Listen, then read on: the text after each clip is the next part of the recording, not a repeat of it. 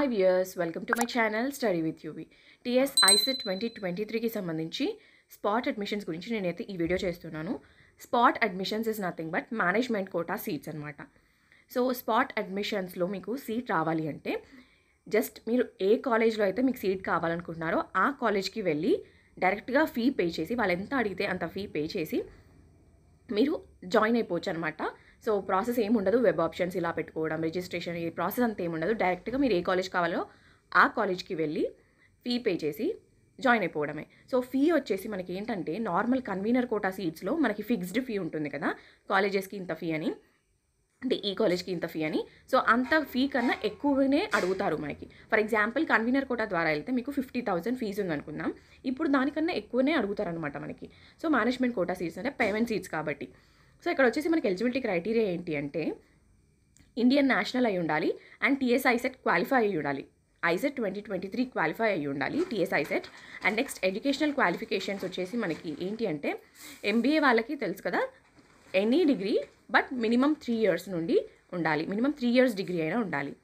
Next వచ్చేసి MCA వాళ్ళకి వచ్చేసి BCA BSc BCom BA degree ఉండాలి విత్ మ్యాథమెటిక్స్ అనమాట సో విత్ మ్యాథమెటిక్స్ ఉండాలి. BCA BSc BCom BA degree with mathematics ఉండాలి. అండ్ మళ్ళీ టెన్ ప్లస్ టూ లెవెల్లో కూడా మ్యాథమెటిక్స్ ఉండాలన్నమాట. సో మనకు వచ్చేసి ఫిఫ్టీ పర్సెంట్ ఓసీ వాళ్ళకి జనరల్ కేటగిరీలో అయితే ఫిఫ్టీ పర్సెంట్ వాళ్ళ డిగ్రీలో మార్క్స్ సెక్యూర్ చేసి ఉండాలి. ఎస్సీ ఎస్టీ బీసీ వాళ్ళైతే forty five percent marks secure చేసి ఉండాలి. సో చెప్పాను కదా డైరెక్ట్గా మీరు కాలేజ్కి వెళ్ళి ఫీ ఎంత ఫీ అడిగితే అంత ఫీ మీరు పే చేసి జాయిన్ అయిపోవడమే ఏముండదు. సో సర్టిఫికేట్స్ అయితే కొన్ని తీసుకెళ్ళాల్సి ఉంటుంది. సో ఇంకా ఈ గైడ్ లైన్స్ అన్నీ వచ్చేసి మనకి కాలేజెస్ వాళ్ళకనమాట. కాలేజ్ మేనేజ్మెంట్ వాళ్ళకి ఎలా uh, అడ్మిషన్స్ తీసుకోవాలి అసలు? కేటగిరీ బి అడ్మిషన్స్ అంటే స్పాట్ అడ్మిషన్స్ ఎలా తీసుకోవాలి అనేసి. ఇక్కడ వచ్చేసి మనకి లాస్ట్ డేట్ ఎప్పుడు అంటే అక్టోబర్ టెన్త్ అనమాట అక్టోబర్ టెన్త్కి మనకి last date without late fee with late fee October seventeenth last date అనమాట సో వాళ్ళు కూడా మేనేజ్మెంట్ సీట్స్ uh, తీసుకునే వాళ్ళు అంటే కాలేజ్ వాళ్ళు సెవెంటీన్త్ వరకు తీసుకొని ఇంకా ఇవన్నీ మీ సంబంధించిన డాక్యుమెంట్స్ అన్నీ కన్వీనర్కి ఐసెట్ కన్వీనర్ వాళ్ళకి ప్రొడ్యూస్ చేయాల్సి ఉంటుంది. మీ డీటెయిల్స్ అన్నీ కాబట్టి. సో మనకు వచ్చేసి ఇక్కడ ప్రాసెసింగ్ ఫీ ఇదంతా ఉంది కదా six hundred rupees thousand rupees అని. సో ఇదంతా ప్రాసెసింగ్ ఫీ మీకు ఫీజులోనే మొత్తం అన్నీ అడిగేస్తారు అక్కడే కాలేజ్లోనే ఇక్కడ ఏం రిజిస్ట్రేషన్ చేసుకోవాల్సిన అవసరం లేదు మీరు. So October tenth without late fee and with late fee October seventeenth అనమాట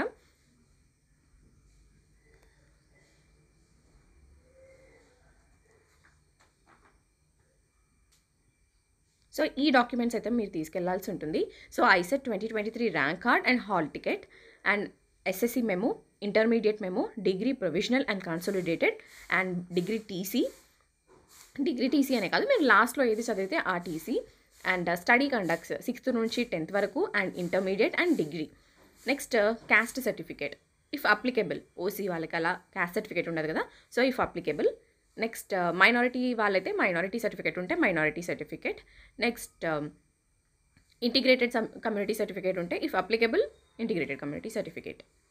So ఇక్కడ మీకు ఇన్కమ్ ప్రొడ్యూస్ చేయాల్సిన అవసరం లేదు. ఎందుకు అంటే స్పాట్ అడ్మిషన్స్ వాళ్ళకి రీఎంబర్స్మెంట్ అనేది రాదు. సో స్పాటెడ్ మిషన్స్ వాళ్ళకి ఫుల్ పేమెంట్ మీరే పే చేసుకోవాలి. రియంబర్స్మెంట్ ఒక్క రూపాయి కూడా రాదు. సో ఇవి పేమెంట్ సీట్స్ కాబట్టి మీరే మొత్తం ఫీ పే చేసుకోవాల్సి ఉంటుంది. సో ఇదనమాట ఇంకేమైనా డౌట్స్ ఉంటే కమెంట్ సెక్షన్లో కమెంట్ చేయండి. నేను ఖచ్చితంగా రిప్లై ఇవ్వడానికి ట్రై చేస్తాను. So please do subscribe my channel and like share comment on this video thanks for watching and also share with your friends